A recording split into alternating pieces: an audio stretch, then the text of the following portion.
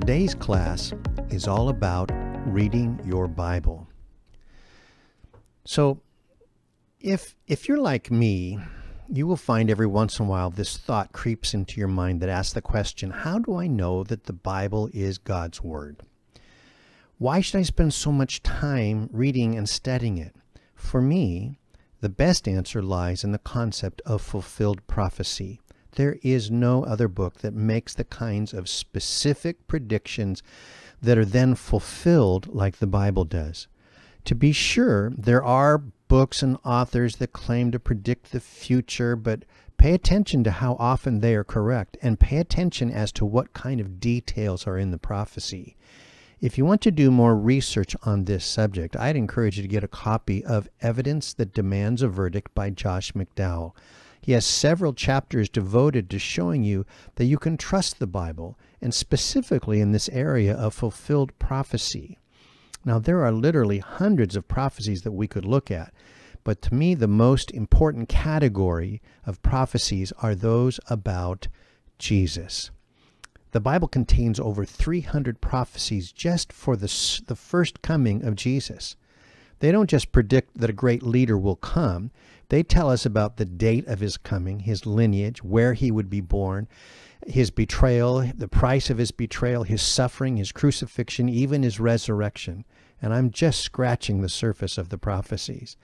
The odds of someone fulfilling these specific prophecies are simply astronomical. There is no other explanation except that God, who knows the future, has shared it with us. He says in Isaiah 48 5, Even from the beginning I have declared it to you. Before it came to pass, I proclaimed it to you. There is no other book like the Bible. Now, why is the Bible so vital? Let me share. I'm just going to give you 10 things. I could share you dozens more, but let me just give you 10 things. First is that it gives us a true picture of who God is. Jeremiah 23:32. Listen to this. It says, "Behold, I am against those who prophesy false dreams," says the Lord, "and tell them and cause my people to err by their lies and by their recklessness. Yet I did not send them or command them. Therefore they shall not profit this people at all, says the Lord. He's talking about false prophets, people who, who give the silliest ideas of what God is like that are not true. It's only in God's proven, tested word that we have a clear idea of just who God is. God hates it when people make up these silly ideas about who He is. Number two, it gives us guidance.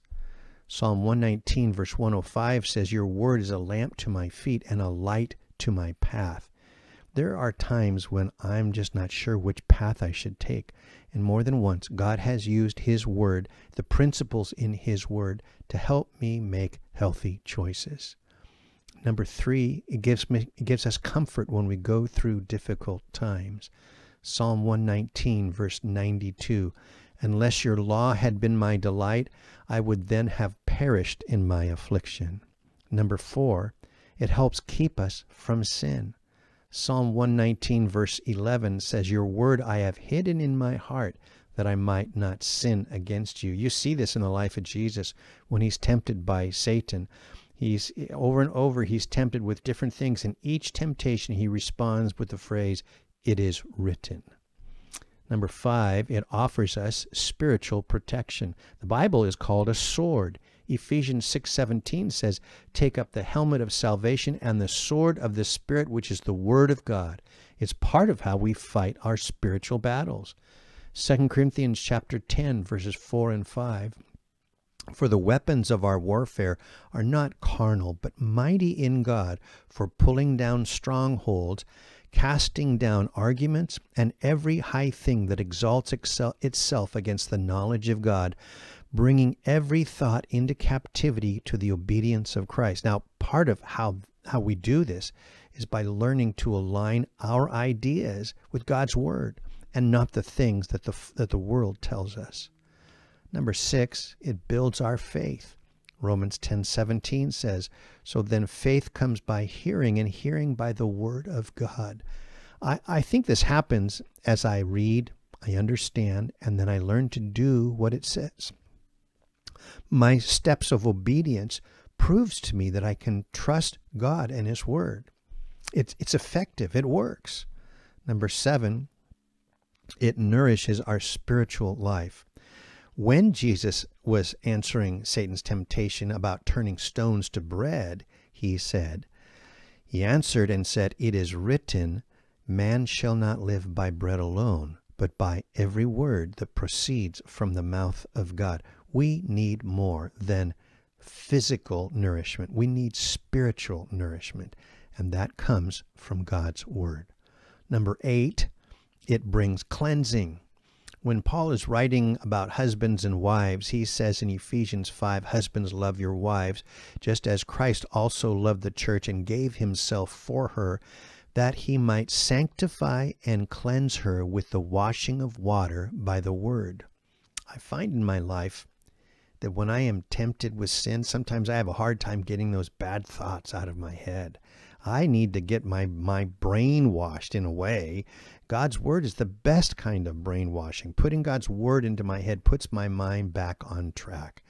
This is one of the ways that, that Jesus helps us to grow to be more like him by washing us in the water of his word. Number nine, it trains us to be useful. 2 Timothy 3:16 and 17 says all scripture is given by inspiration of God and is profitable for doctrine, for reproof, for correction, for instruction in righteousness, that the man of God may be complete, thoroughly equipped for every good work. Taking time to learn your Bible is a little bit like going to boot camp, basic training. It helps you to be more useful on the battlefield of life. The Bible has the answers to life, and not just for you, but for the people that we live with, the people we work with, the people that we care about. Number 10, it's alive. Hebrews 4:12 says that the word of God is living and powerful, sharper than any two-edged sword, piercing even to the division of soul and spirit, the joints and marrow, and is, and is a discerner of the thoughts and intents of the heart. It's not like any other book. It's not just a bunch of words. It's it's it's alive, but it's not some freakish Frankenstein monster. There is a sense in which we will uh, God will use his word on a daily basis to speak to specific situations in our life. Each time you read through the Bible, you, you ask in prayer, you ask, God, would you, would you direct me? Would you speak to me? And you'll find that God will highlight different passages. Uh, and, and every time you're going through the Bible, some, you'll go over the same passages sometimes, you know, every year, and you find that your life is in a different place and God will speak differently to you because it's alive. Don't miss out on what God wants to say to you. Now, let me talk for a minute about reading, meditating, and memorizing. At the very basic level, we all need to be simply reading God's Word. We need to get it into our hearts and our minds. We, eh, but we also ought to take it a bit deeper than just reading. Psalm 1, David says, Blessed is the man who walks not in the counsel of the ungodly, nor stands in the path of sinners, nor sits in the seat of the scornful, but his delight is in the law of the Lord, and in his law he meditates day and night.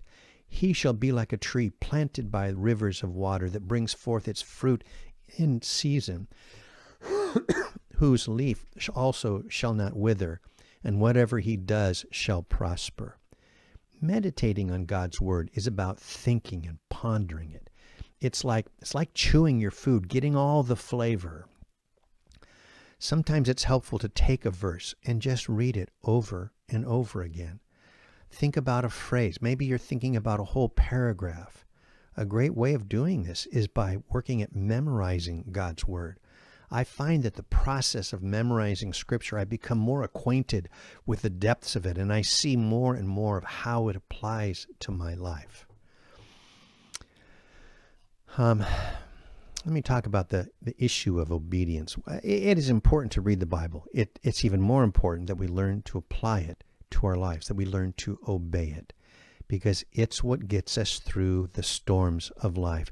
Jesus said in Matthew 7 24, Therefore, whoever hears these sayings of mine and does them, I will liken him to a man who built his house on the rock, and the rain descended, the floods came, the winds blew, beat on that house, and it did not fall, for it was founded on the rock. But everyone who hears these sayings of mine and does not do them will be like a foolish man who built his house on the sand. And the rain descended, the floods came, the winds blew and beat on that house, and it fell, and great was its fall. If you pay attention to the story, both men were going to go through a storm, but only one survived. Both men heard the word, but only one man did what the word says. Now, and, and so that's how we survive, it's by learning to obey. But let me just say this we're not going to be perfect in this. I'm not giving you an excuse, but we're not going to be perfect in it. This is this is part of the slow but steady maturity that we grow in. Don't quit because you stumble. You get back up and you try again. Now, I can't stress how important it is that you learn to read your Bible every day. Uh, the Bible is one of the key main keys to our growth as Christians. But don't make the mistake of hunting and pecking for a different verse each day. Make it your discipline to read through the Bible. Read an entire book of the Bible. Not necessarily in one shot, but just each time you read a little read a little bit more in the passage. Our our church has a plan that we've been using for years. You can find the plan on the church app. It and if you follow that plan, you read about 3 chapters a day and you cover the entire Bible in a year. It's two chapters Old Testament, one chapter New Testament. I've been doing this for for over 30 years. Now, maybe reading 3 chapters a day sounds a little ambitious for you. Well, our plan has two parts Old and New Testament. Two chapters Old Testament, one chapter New Testament. And if you want, maybe maybe you should just start off by reading one chapter in the New Testament. And and you do that every day. The important thing is to start a habit. That's the hardest thing to do is to start the habit of reading. They say that if you do the same thing over and over again for 30 days in a row, you will have established a habit. I found it, it, helpful over the years in training people to do this, that it's good to have uh, somebody else along with you who's, who's keeping you accountable. And every day you're reading the same passage, and then you can share with each other what, what you've been reading and helps you stay on track. So, to wrap it up, I just can't tell you how important it is for your spiritual growth that you establish a daily time of reading your Bible. It's one of the key building blocks to a stable, mature relationship with Jesus. I hope that helps.